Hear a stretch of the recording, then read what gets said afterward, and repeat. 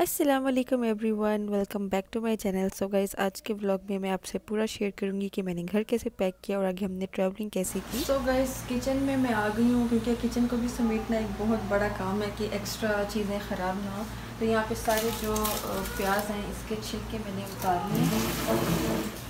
और छिलके उतार के तो मैं कुछ इस तरह रख रही हूँ। उससे ये होता है कि ये ख़राब नहीं होते। ये रैक भी हो चुका है खाली। इस यहाँ पे ये कुछ ट्रैवलिंग बैग्स हैं। जैसे आपने कुछ ई टेबल्स रखनी हो, इसके अंदर मैं कुछ ठंडा पानी या जूसेस और इस तरह की चीज़ें रख दूँगी हानिया का मिल्क वगैरह। और इसके अंदर मैंने कुछ डिस्पोजेबल और टिश्यूज़ और डिस्पोजेबल कप इस तरह की चीज़ें रखी हैं। टिश्यू के रोल के आपको रास्ते में ज़रूरत पड़े, क्योंकि लॉन्ग जर्नी है तो उसके लिए ऐसी आपके पास चीज़ें हों तो काफ़ी ईजी रह जाता है। तो बस ये काम भी ऑलमोस्ट मेरा डन है, क्योंकि आज किचन समेटने की बारी थी। तो मैंने कहा, आप लोगों के साथ शेयर कर दूँ।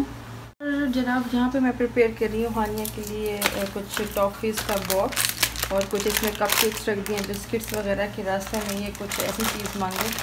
और तो इसके लिए अवेलेबल और कुछ एम एन एम है, जो भी बच्चे खाते हैं इस तरह की चीज़ें। तो ये बॉक्स खोल के तो इसमें से जो इसको दिल करेगा उसी वक्त दे देंगे, क्योंकि बच्चों के लिए कुछ ना कुछ लाजमी होना चाहिए ताकि वो भी खुश रहें। तो it is also done guys अभी यहाँ पे मेरे हस्बैंड की पैकिंग स्टार्ट हो गई। यहाँ पे मेरे हस्बैंड के काम जो है ना मीन टाइम तक रहते थे तो बस उनके साथ मैं जल्दी जल्दी पैकिंग करवा रही थी क्योंकि नेक्स्ट मॉर्निंग हमने निकलना था और रात एक रात जो पहले होती है उसमें आप कितना हेक्टिक हो रहा होता है ना कि ये भी फाइंड अप करना है और वो भी वाइंड अप करना है। वेल well, जल्दी से हमने सारा वाइंड अप कर लिया था और किचन भी मैंने रात को ही ऑलमोस्ट कर लिया था बट कुछ काम ऐसे थे जो सुबह ही होते हैं और सुबह निकलने से पहले ही घर में हो रहे होते हैं। तो बस यहाँ पे वो सब काम चल रहे थे। और यहाँ पे सुबह मैंने प्रिपेयर कर लिए थे सैंडविचेस क्योंकि रास्ता काफ़ी लंबा है, दो दिन लग जाते हैं जद्दा पहुँचते हैं के लिए। अभी मैं आपको आगे सारा दिखाऊँगी कि किस तरह हमने स्टे किया रियाज से की एक सिटी था वहाँ पे। तो जो लोग भी इस जद्दा ट्रैवल करना चाहें कोबर से, उनके लिए काफ़ी बेनिफिशियल होगा ये ब्लॉग क्योंकि उम्र के लिए, आगे हज के लिए आजकल तो लोग जाएँगे ना, अभी तो खैर हज का सीज़न है। तो हज के लिए तो मुश्किल ही अब अपॉइंटमेंट्स मिले आगे उम्र के लिए अगर कोई जाना चाहे तो वो बाई रोड इस तरह बहुत इजीली जा सकता है दरमियान में एक स्टे करके। तो खैर ये तो गाइस अब बारी आती किचन को थोड़ा पैक करने की क्योंकि सारा कुकिंग और सैंडविचेस तो मैंने अभी डन कर लिए हैं। रास्ते के लिए भी और कुछ फ्रूट्स भी कट करके रख लिए हैं। तो बैग और और रेडी तो बस अभी मैं कुछ कवर करके जा रही हूँ ये सारी।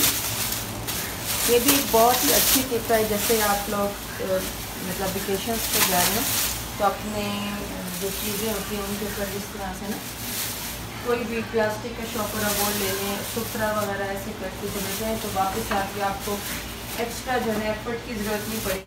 और ये भी सारा मैंने ऐसे पैक कर दिया। यहाँ पे घर वगैरह सब पैक हो चुका था किचन भी क्लीन और फ्रिज भी क्लीन और यहाँ पे बैग्स भी ऑलरेडी थे बस कार में हमने रखनी थी चीज़ें एंड निकल गए थे हम लोग यहाँ पे।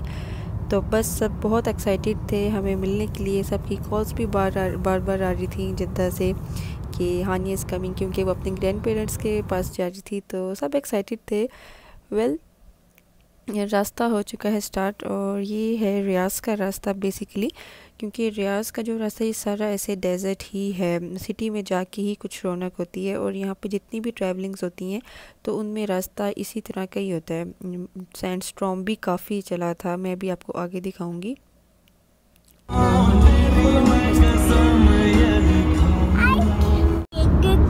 what are you playing? You're playing with your babies? You're enjoying? This is baby. This is baby. Mommy daddy कहाँ है उसके? Here? Oh, you're enjoying?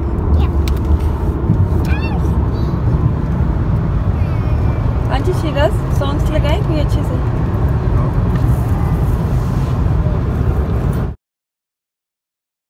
So guys, यहाँ पे हानिया तो मेरी गोद में आके सो गई थी क्योंकि ये थे खेल खेल के थक चुकी थी इस वक्त तक। तो बच्चे तो बस फिर माँ की गोद में ही आके सो जाते हैं ना जब इनको थकावट ज़्यादा फील हो।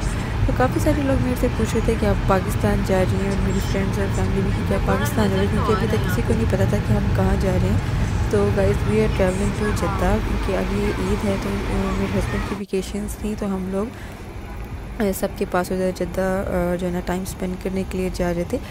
तो पाकिस्तान भी जब मैं जाऊँगी तो इंशाल्लाह आप लोगों के साथ शेयर करूँगी।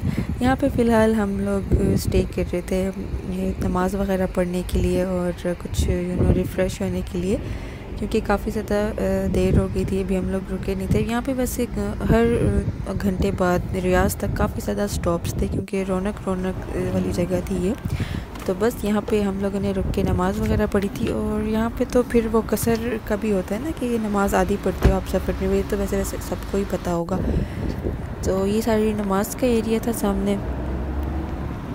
और यहाँ पे ऐसे ही होता है कि हर स्टे पे नमाज़ की जगह अलग होती है लेडीज़ की भी और जेंट्स की भी और ये कुछ प्ले एरिया था बच्चों के लिए बट इतनी गर्मी थी और इतनी ज़्यादा गर्म हवा थी। I just took the clip for you guys और बस फ़ौरन से ही हम गाड़ी में आके बैठ गए थे, क्योंकि अगर शाम का वक्त हो तो फिर शायद थोड़ा सा खाने को भी इंजॉय करवा लेते बट खैर, अभी हम लोग आगे निकल गए थे।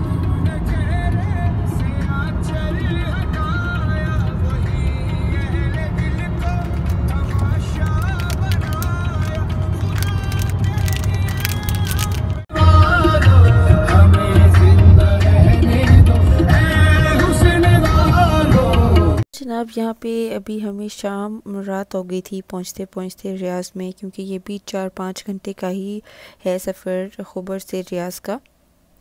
तो यहाँ पे हम सिटी में आ गए थे एन, एंटर हो गए थे क्योंकि हमने सोचा कुछ अच्छा सा डिनर कर लेते हैं क्योंकि रियाज तो कैपिटल है सऊदीया का और यहाँ पे बहुत ज़्यादा रेस्टोरेंट्स हैं और ये बहुत बड़ा सिटी है आपको एंटर होते होते भी बहुत ज़्यादा टाइम लग जाता है। और यहाँ पे बहुत ज़्यादा रिक्रिएशनल एक्टिविटीज़ भी हैं यू नो काफ़ी बड़ा सिटी है ऑफ़ कोर्स कैपिटल है तो यहाँ पे चीज़ें भी काफ़ी ज़्यादा हैं और बहुत बड़ा भी है। सफ़र में आप थक भी काफ़ी जाते हो, लेकिन खैर मज़ा भी आता है क्योंकि change is always good for your mental health also क्योंकि चेंज अच्छा ही लग रहा होता है, इस तरह आउटिंग्स अच्छी लग रही होती हैं और उससे पहले जो काम होता है वो भी आपको थका देता है। खैर इट्स गोइंग गुड पैकिंग शैकिंग करना और वापस आके भी जो अनपैक करनी होती हैं चीज़ें, खैर अभी उसके बारे में नहीं सोचे, सोचते वापस आके देखेंगे। फ़िलहाल यहाँ पे हम लोग पहुँच चुके थे restaurant that is Al Romansiah restaurant जो कि बहुत अच्छा यहाँ का सऊदीया का फ़ेमस फ़ूड है। यहाँ पे भी सऊदी फ़ूड होता है लाइक राइस मंदी और लाहा मंदी इस तरह की चीज़ें। तो जस्ट वी एंटेड हेयर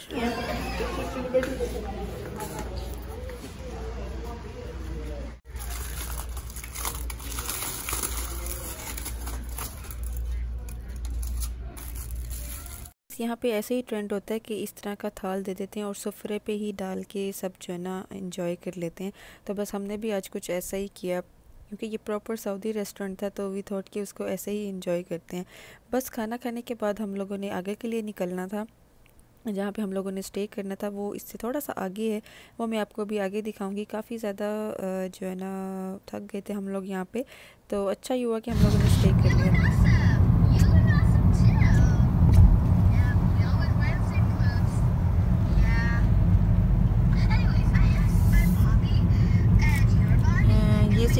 में हो गए हम है ना शिराज